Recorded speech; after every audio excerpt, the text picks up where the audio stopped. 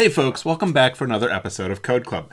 In recent episodes, I've been looking at a variety of different data structures and trying to figure out what is the best way, the fastest way, to build that structure and then get access to the values in that data structure. This is part of an overall project that I'm working on to build a sequence classifier uh, for a new R package that I'm trying to develop. One of the problems that I ran into is that I tried to represent my data, um, which is a set of k-mers. So if you want to know what all this jargon means, I'll put a link to the playlist up above here. Basically what I have is a matrix where my rows are one of 65,000 possible 8-mers, and the columns are one of several thousand possible genera or types of bacteria, if you will. You don't need to know any microbiology to understand what I'm doing here. But what happened when I built that that matrix was that it blew up my computer, basically. It exhausted the RAM, the amount of space that R was willing to dedicate to that matrix. What I realized was that most of the values in that matrix were zeros, which means I don't need to store that, which means that that matrix is what we call sparse. And so again, we've been thinking about different ways to build ways to represent that matrix. In the last episode, what I did was I showed you, I think like 18 or 19 different ways to represent sparse data. And what we found was that representing the data as vectors was the, the quickest way to generate uh, those data structures. Actually, things like tibbles and data tables um, were much slower to build than an ordinary data frame or certainly a list or a, a set of vectors. But just because things are fast to build doesn't mean they're fast to get access to, right? So we, something could be blazingly fast to build, but it could be a pain to work with. It could actually be really slow to pull a value out of that. So that's what we're going to do in today's episode. We're going to revisit that really long episode from last time, and we're going to focus on getting values out of the structures to uh, figure out, let's say, what k-mers and what, what, how many sequences in each of those genera that the k-mer was found in um, were, were, were represented in our, in our data, right? So that's, again, part of the motivation. Along the way, what you'll see is a variety of different ways to get data out of uh, data frames, data tables, tibbles, uh, lists, vectors, and, and on and on. so strap in uh, and get ready for what will hopefully be a, a shorter and a, a bit fun uh, exp exploration of performance of accessing values from some fairly complicated data structures. So I have my benchmarking df.r script opened up here in RStudio. I've gone ahead and loaded everything. Um, and again, just to kind of refresh our memory of the different functions that I had to build roughly the same structure, um, the same data being represented in slightly different ways, but by these 18 different approaches. Um, this matrix predefined is the full matrix. The case that I'm using here is uh, 64 k-mers by 15 genera, and I'm representing 100 sequences. Again, this is kind of a toy example to allow us to do some benchmarking and, and playing with the data. And clearly what we saw was that representing the data as three vectors not as a data frame was much faster, whereas representing things as a tibble, these things that start with a TBL, were, were much slower. But that data frames and data tables actually did pretty well, and there wasn't much of a benefit for writing this in C++, and that's most likely because the RCPP version of a data frame is probably the same thing as what R is using also in, in C. So what I want to do today is generate a tibble, a data table, a matrix, a sparse matrix, um, a list, a vector, all these different structures, and see how they perform for pulling out the same data from each of them. So the first one I'm going to do is df, and we'll do df predefine um, on n, and I'm going to define n here uh, for these cases as 1,000. Previously I used 100. Uh, I'm going to try 1,000 to make sure that I get all of the k-mers represented, um, at least in one genus. Uh, n is the number of sequences that we're sampling. And so now if we look at df, we see that we get this data frame, right? Um, and yeah, there we go. Um, and so we see that it's not ordered by any means, uh, but that we get the, the k-mer, the genus, the count, um, and, and that's basically what we're going for here. All right, so that's data frame. Uh, we can think about data table. This is using the data dot table package. Uh, again, DT has a slightly different representation. Um, we can also think about the tibble And so we'll call that TBL. And then we had TBL predefined. And again, TBL, oh, TBL. We get that representation, so that's cool. I'll also have M full for a full matrix. And so we'll call that then matrix predefine uh, with N. And again, M full looks like this. It's a 64 by 15 column uh, matrix. Cool. And then we'll also do M sparse. Uh, and I want to make sure I get the right, the, the more efficient version of the sparse matrix, which I may have lost here. Uh, there we go. Um, so let's see, where was sparse? So sparse R, T, and there's C, right? So I think what we found was that R and T performed about the same. I'm to do T, and so that's compress compressing it into triplets. Uh, so we'll go ahead and use that. And again, M sparse looks like this. Again, the dots in this are zero values. I'll also do list predefine N, and this is going to be, um, I'll call it LST. So we have six different structures representing the same type of data. Um, from this list version, we will get the vector-based approach. I want to do my best to make sure that we get the same um, data represented in each of these. So I'm going to reset the seed before each of these. So we'll do set.seed. And then my favorite uh, seed is 1976-06-20. This is my birthday. um, I have actually gotten uh, happy birthday uh, comments from people because they, they know this, right? So um, I appreciate people recognizing my birthday. So we'll go ahead and run these and get those loaded. And so if we do like head on DF and then head on TBL, that's probably not really necessary. We see that we get the same type of data out of each of these. It's not critical that it's exact, but I want it to at least be pretty close. All right, so now we have these six different ways of generating the data. Now we want to think about how do we get access to those data? So I'm going to start with DF. The first column is the k-mers, the second is the genus, and then the third is the number of sequences that had that k-mer in that genus. Again, this is all make-believe random data, but it's there to kind of illustrate some points. Okay, so what we'll do with DF is if I want to get the rows corresponding to a specific k-mer, then I can do DF with square braces, and we're going to go into a row, and I talked about this in the last episode a bit. So I can do df dollar sign kmer equals equals 20.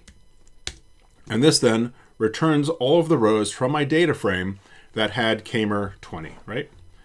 Cool. So I will go ahead and call this get df single. And we'll have that as a function. And I'm not going to have any arguments going into it. So eventually we'll come back and we'll look at getting maybe three values out of the data frame. But for now, let's just stick with single. I'm going to repeat this then for the other types of structures. So df dt uh, will be the data table. And I actually don't need this type of notation inside of it. This is basically saying, give us the rows where the, the kmer column from df equals 20. And so dt is smart enough to do that on its own as you can see here. So this is get dt single. Uh, we'll also do get tbl single uh, function, and then we'll do tbl. And again, uh, we had this as our table, right, tibble. And normally what you might do would be like a filter, um, and actually we can write this in one line without the pipe because I know the pipe can cause concern whether or not the magrittr pipe or the base pipe performs better. So let's just remove that variable and we'll do filter TBL and then we'll say kmer equals equals 20. And so we can see we get that output. So that's cool. And then we'll do get m full single function. And that is again m full, right? So we'll do m full and so this is a full matrix. And so if I give it the row, so if I give it 20, so this will give us the counts and the position then is the genus indication. You can see we've got the zeros in here. Um, again, this is from a full matrix, which we already know we can't really do because we can't store the full matrix, right? So this is an example of where it's blazingly fast to get the data, but we can't actually build the data set, right? Um, we might have other cases where it's blazingly fast to build the data structure, but painfully slow to get the data out, right? And so that's why we do these types of analyses, and we then discuss the trade-offs and, and think through things, right? So um, M full single, so we also have M sparse uh, single, and so we'll, we'll call that M sparse here. And so that is the same output as we saw before. So out of the list, I'm going to pull the vectors. So I will then do kmer vec, uh, and that's going to be lst dollar sign kmer. I'll also do genus vec as lst dollar sign genus, and then we'll do count vec uh, lst dollar sign count. And so let's make sure these are all loaded. And then what we would do is get the the values from each of those, right? And so we could do like kmer vec um, 20, uh, and so we don't need the comma, right? And so that would then give us, well, no, that's right. ah, I'm thinking. I'm going so quickly through these things that I just got into the mindset that we wanted kmer 20 kind of like from a matrix, but really we want all the kmers that are equal to 20, right? And so basically, if we look at kmer vec, then we want to know which of these are equal to 20. So I could do equals equals 20, and then this gives us a series of trues and false values. Uh, and we've got like a thousand here, right? Um, and so what I'd like to do, I so I could I could I could do this, right? I could do kmer vec on this, and then I could repeat this for genus vec and count vec, right? But I'm going to be searching through my kmer vec three times to find those that are equal to 20. And so I can see that being slow. What I'd rather do, well, so so I could certainly save this um, as um, kmer present, right? And then I could save that, and then I could put kmer present into all these, right? And get those values, right? So that's one approach. Um, another approach would be to say, um, to take uh, to take this again.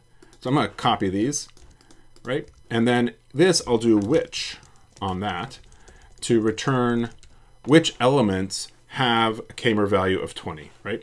And so now when I look at this, I get the same result, but I'm doing it by slightly different approach. And so I'm kind of curious which one performs the best, right? I'll call this get vector single function on that. And I'm leaving the vector definition outside because that's how I'm kind of envisioning the data structure being stored. And then I'll also do get vector, um, or get, let me say which, single with function, right? And then I'll tab this over and close that out. Um, and I think what I'll ultimately want to do is perhaps create a new list as output. So we'll do list on this with kmer equals that. All right, that, and then count equals that, close that out. And so then I'll, I'll copy this down and replace these. Uh, because R can only return a single object. And so what it's going to return then is the list. It, you can't give it three vectors to return, right? So um, we'll go ahead and do that. And so these are, um, I don't know, a bunch of different ways to get um, all the rows where kmer vector is 20. And so let's go ahead and do micro benchmark. And then we'll, we'll, we'll put these in here. Um, so get df single, get dt single, get tbl single, get m full, and get m smart. m sparse single, and right, and then we have these two vector ones. Get vector single and get which single. Parentheses are doing weird things. Uh, so we'll go ahead and do that. And I'm going to go ahead and grab the dplyr code that I had up here, which takes the output from microbenchmark and it it I think summarizes it in a nicer way than the default output. We'll go ahead and run this. Oh, and I've got to, of course, load all my functions because I generated all these functions and then forgot to load them. So we'll do that. And so what we find is that, of course, taking a full matrix and grabbing the row is the fastest way. Um, a vector with the single where we are using the uh, logical vector, basically generating a logical vector of trues and falses, and then using that to go into our vector is faster than using which. Um, and so, yeah, accessing it via a vector via versus so accessing it via a vector of logicals is faster than generating the indices where those things are true and then indexing that into the vector um, is slower than just straight up logical, right? Which is interesting. Um, df single is faster than any of these other approaches, which is interesting. Um, faster than the sparse, the tibble, or the data table. I still find that really, really interesting. Um, so this is getting a single k-mer out. So we might think now about getting three values out. I don't know why three, but you're just some number larger than one. So what we'll do is we'll come back up to these, and I'm going to go ahead and do um, df3 and let's see, let's go ahead and just, and I'll define this using an OR operator. So we'll do OR uh, df k-mer equals, um, let's do 30, and then we'll also do uh, 50, okay? And so again, this then will give us all the rows with 20, 30, or 50. We'll also repeat this for dt, and then we'll um, again, kind of the same idea of copying these three in um, here, and we'll call this dt3, and remove our df dollar signs here, right? All right, and that's good. So now we need a tibble, and then we'll grab this from the data table and put this in here. Cool. And then our m full single uh, will uh, do three, and I forgot to change this one to three. Thank you, I heard you. That was great. Appreciate the participation. And then here we'll do uh, C20, comma 30, uh, 30, 50. Right, just double check that works. So that gives us three rows out of that matrix. Cool. And then uh, m sparse three, right? And so here we'll do the same type of idea I want to double check that this, uh, we need the comma. So that works also for indexing into a sparse matrix. Cool. And then we want um, get vector 3 with this. And so, of course, we need um, what? Yeah, so we need the 30 and the 50. So maybe I'll go ahead and copy this. And we'll change this to the 30 and 50. So let's get vector 3. Um, yeah, I think that works. We see here in our k-mer vector, we've got all those. Cool. And then we also want to try the which with 3. Get which 3. And we'll go ahead and grab this logic and bring it down here. So I'm going to go ahead and load all these functions. We have so many functions. Uh, and thankfully, we can compare them head to head against each other. So I'll go ahead and copy this. And instead of these singles, we'll make it three. So I'll go ahead and copy and paste these in, and I'll be right back. All right, so let's go ahead and give this a run now. So again, what I'm trying to do here is get a sense of how the performance scales with the number of k-mers that I'm trying to pull back, right? And so we, we saw this in a previous episode, how we could go ahead and generate a plot with kind of n across the x-axis and time required on the y-axis. And then we could kind of plot each of these and see what the lines looked like. I'm not overly concerned with that because, um, yeah, I just, you can do that. I'll let you do that, right? Um, and, and, so I think what we see, though, is that, uh, like, so here's the single and the three, and it takes twice as long to get three as it takes to get one um, with by vector. Using the which is, again, about twice as long.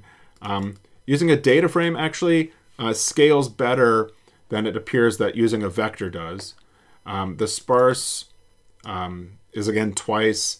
Uh, the data table uh, is like eightfold. So that, that might actually be uh, more like quadratic. I'm not sure. Uh, and the tibble is also quite slow.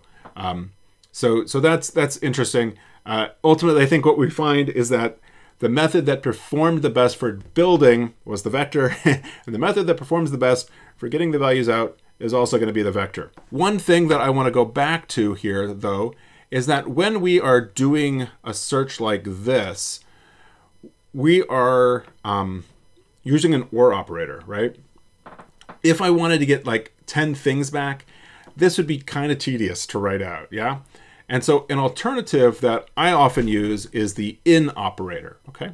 So I'm gonna go and use the vector approach and I will do get vector three and I'm gonna call this or, uh, and I'm gonna put that down here before I forget, uh, or, uh, because the vertical lines indicate or, right? And so here I'll use in, and I'll do is go ahead and um, we'll, we'll do this a slightly different way. So I'll do kmrvec in, so it's percent in percent, and then we can give it a vector of values. So I'll do 20, 30, and 50. And so this is asking what values in kmrvec are in 20, 30, and 50. And so this then will give us kmer present, and again, it's a logical, right? So this will feed very nicely into the rest of what we're doing. So let's go ahead and add this to our pipeline and I will make sure that it's loaded. All right, and then we'll go ahead and after the get vector three, uh, we'll do the in. So here is our or and our in. And again, to get the same number of kmers out, the same data out, the or operator performs a lot better than the in operator, which is really interesting. I'm not totally sure how that in operator works, but it's certainly intriguing that um, it performs so much better. So a problem with using these ors is that say I don't know what values I'm going to want, right? Or say I've got like 20 values. This could get kind of tedious, right? Um, and so I'm going to build off of this. So we could imagine having these three values like we've already seen, right? And so that gives us those. And what we might like to do would be like a paste where we then say kmer equals equals that, like that, right? And so that gives us our kmers and what we want them to be equal to, right? And but then we need to kind of paste them together further to put the pipe operator in there, right? So we could then do another paste on that. And then what we could do is collapse equals the vertical line, right? Oh, and I forgot a closing parentheses there. And so there we go. We've got that closing parenthesis um, like that. And yeah, there we go. So this is um, one way of doing it, right? And so what we could imagine doing is taking this and calling this, uh, what do I call here? Kmer present, right? So this could be my Kmer present. And let's get some more real estate here so we can see what we're doing. And then I could do like Kmer, Kmer present, right? And so we could hope this would work but this doesn't work. Oh, this needs to be a vec, right? All right, that's why it doesn't work. That's why it doesn't work, because I used the wrong variable. Okay, that also doesn't work. so anyway, this is a string, as we've seen, right? And so we need to convert this string to our language. And so what we could do is str to lang on that. And so let's see what this outputs, right? And so that gives us this. And so I still don't think this is enough to get it in there, right? So uh, it's complaining because it says kmer not found. This should be kmer underscore vec. That works. And now we do kmer present and we get our logicals, right? So again, what's happening is that in here, we are building the query, right, as a string. And then with string to lang, we're converting it to R, right? And then we're saying we want R to evaluate that, right? And so it makes sense if you take it piece by piece. Uh, this is one of the downsides of base R is that you can see we've got one, two, three, four functions nested inside of each other. that gets a little bit overwhelming and a bit confusing, right? Um, so if, if I were putting this into production code, so to speak, I'd probably break this up into using like the base R pipe to make it easier to see what exactly is going on here. But um, again, then we feed that into kmer and we get 20, 30, and 50. So I want to try this with string to long. So I will go ahead and uh, create a new function that I'll call get vector uh, str to lang, not long, uh, function, um, and see how this performs relative to doing uh, the OR operator. Because again, we could imagine having, having um, many more um, k-mers that we want to get back. So I'll go ahead and load this and add this to my pipeline, and let's see how this performs. Oh, and I forgot my parentheses here. So it's interesting to me that string to lang, that approach actually does worse. you know, algorithmically developing our query, um, it does worse than any of our other options with the get vector, whether it's using the in operator or the or operator. Um, that's that's really disturbing in a way. Um, I'm noticing that like my get vector single at six, you know, 5,800 seconds, nanoseconds, I think it was. Um, actually, I could run this three times and it would be faster than using the in operator or the string to lang operator. Um, that's really interesting. I don't know what to do with that.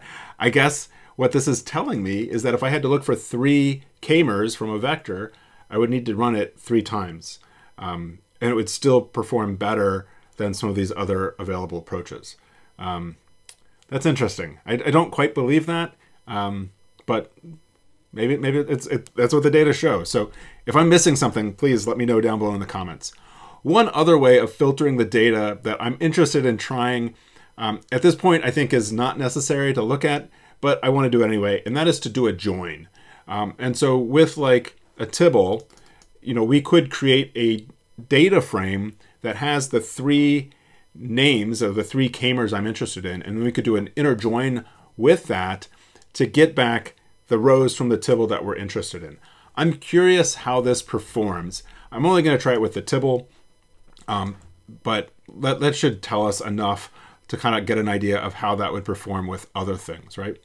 And so I'll grab this and we'll do get Tibble 3 uh, join. I'll put a J, a Tibble, and I'll say kmer equals, uh, we'll do 20, 30, and 50.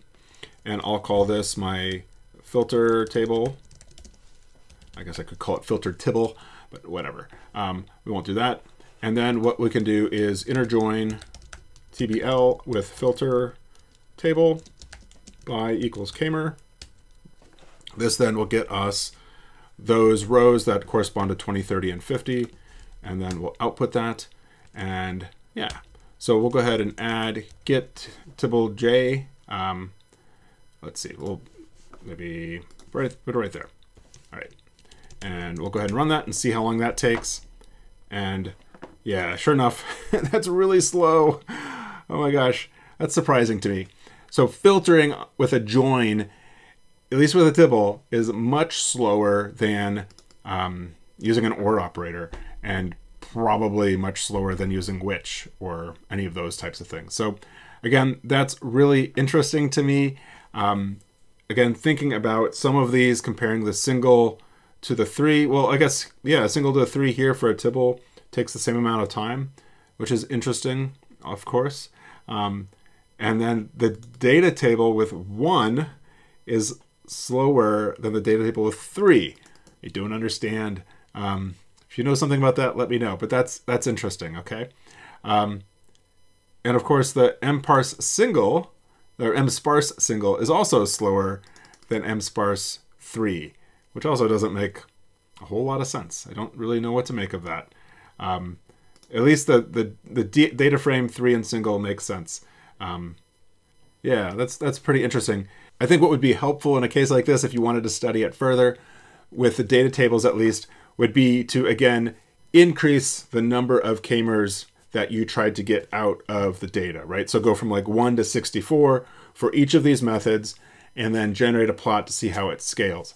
I'm not going to do that because I think I know what I need to do. I need to work with vectors and perhaps doing um, one k-mer at a time and just kind of looping that. This might be something that I come back to later to see like what if I need to get multiple k-mers out, what's the fastest way to do that. But for now, I think I'm going to be pretty satisfied to stick with vectors and not pursue any type of the other data frames or sparse matrix representations of the data further. Um, this has been really eye-opening to me, and in hindsight, it makes a lot of sense that when you have a data frame, you are having a list again where each column is a different vector and there are there's overhead to representing the data as a data frame where you're you're packaging those three objects together. Uh, there's a little bit of overhead with a list, just a vanilla list, but not much at all. There's also overhead with representing it as a matrix. Uh, the overhead with the matrix, of course, is memory, but also it's a vector that you then provide um, dimensions for rows and columns. The sparse matrix also has overhead because under the hood, it's really a data frame that they add extra stuff on to make it look more attractive, more like an actual matrix, even though it's not storing it as an actual matrix. So I think it's important to think about, you know, what do you get for these different types of structures? That you could do everything with a vector and a list, uh, as we talked about before, an atomic vector and a list vector. Uh, those are both types of vectors. Um, and when we're doing day-to-day data analysis, like you might be doing if you're getting data and you're trying to build a plot for a figure in a paper or something like that, you're you're cool to deal with this overhead because you don't notice the overhead. It goes by so fast that you don't notice it. But again, we are going to be looking up k-mers like this operation thousands of times for uh, perhaps a single sequence. And so that needs to be fast. And we don't want that to, to be to be laggy, right? And so like a difference in tens of thousands of nanoseconds, right, is is again microseconds or milliseconds, but again scaled over thousands of times gets to be seconds, and that gets to be like real time. And so these are all things to consider. Again, the trade-offs are different when you're doing a data analysis versus when you're programming and trying to build a package that other people are going to use. If it's harder for me to code, but easier for you to use, that's a win, right? If it's easier for me to code, but harder for you to use, that's a loss.